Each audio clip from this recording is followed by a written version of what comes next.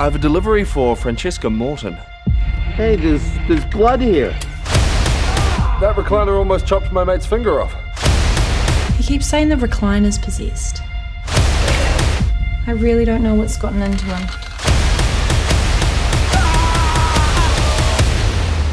We need to find out where that recliner oh. is.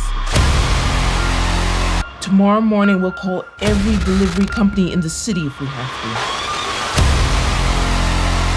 Whoever has that recliner is in great danger. There's a killer out there.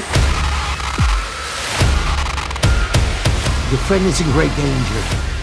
That recliner she bought is possessed.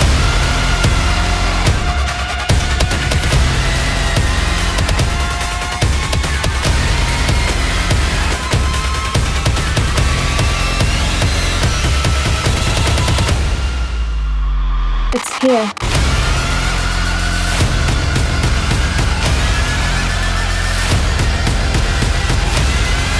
Never, ever underestimate the seducing power of the beast.